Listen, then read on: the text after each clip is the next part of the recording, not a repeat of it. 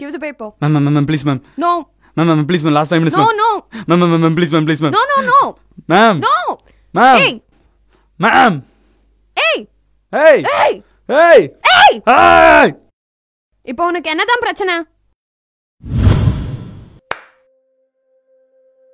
Exam exam exam LKG யூகேஜியில் ஆரம்பித்து என் வாழ்க்கையோட அடுத்த கட்டத்தை நிர்ணயிக்கிறது இந்த பேப்பர்லையும் பேனாவும் நீங்கள் வச்சு போடுற மார்க் அந்த காலத்தில் கல்வி தான் ஒருத்தனோட திறமையை வளர்க்கணும் குருகுலம்னு ஒன்று உருவாக்குனாங்க. அதை டியூன் பண்ணி ஸ்கூலு காலேஜ்னு ஒன்று உருவாக்கிட்டீங்க. கல்வி திறமையெல்லாம் வளர வேண்டிய அந்த இடத்துல போய் portion syllabus compulsory question important question highlights assignment imposition லொட்டு லொசுக்குன்னு வச்சு கல்வின்ற ஒரு பெரிய கடலை டம்ளருக்குள்ளே அடைச்சிட்டிங்களையா? கல்விக்காக போர்ஷனை சிலபஸ்னு ஒன்று கொண்டு வந்தீங்க.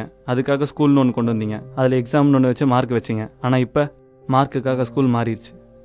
புக்கை படித்து படித்து மனப்பாடம் அடித்து அடித்து வேறு ஏதாவது புதுசாக படிப்போமே நியூஸ் பேப்பர் எடுத்து படித்து பார்த்தா பக்கத்துக்கு பக்கம் ஏன் ஸ்கூல் ஆயிரம் ஏன் ஸ்கூல் ஐநூறுனு மார்க்கை கூவி கூவி விற்கிறீங்களேயா எனக்கு நல்லா ட்ராமா பண்ண வரும்.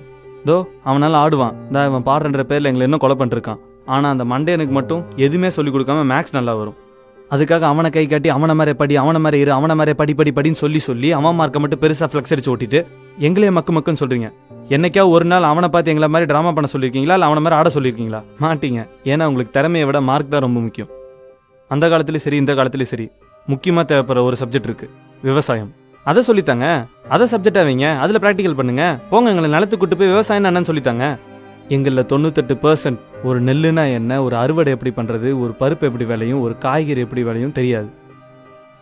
ஒரு பையன் மார்க் கம்மியாக வாங்கிட்டானே வச்சுக்கோங்க. அவன் ஃபெயில் ஆகிட்டானே வச்சுக்கோங்க. அவனை என்ன பண்ணுறீங்க அந்த காலத்தில் எப்படி ஒரு பொண்ணு அவன் கணவனை இறந்த பிறகு தீயில தள்ளி கொன்னாங்களோ அதே மாதிரி உங்கள் சொல்லாளி செயலாளி அவனை திட்டி திட்டி கம்பேர் பண்ணி பண்ணி அவன் வாழ்க்கையும் திறமையும் கொன்னுறீங்க. நான் உங்க எல்லாரையும் தப்புன்னு சொல்லலை.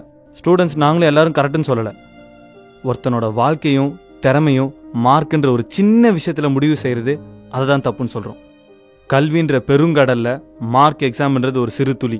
இப்போ நான் உனக்கு என்னதான்ப்பா பண்ணணும்? ஒரு அஞ்சு நிமிஷம் டைம் தாங்க. அண்டர்லைன் பண்ணி ஹைலைட்லாம் மார்க் பண்ணிட்டு தரேன். ஏன்னா என்ன எக்ஸாம் எழுதணுன்றதை விட எப்படிலாம் எக்ஸாம் எழுதுனா மார்க் அதிகமாக கிடைக்கும்னு எனக்கு சொல்லி கொடுத்துருக்காங்க.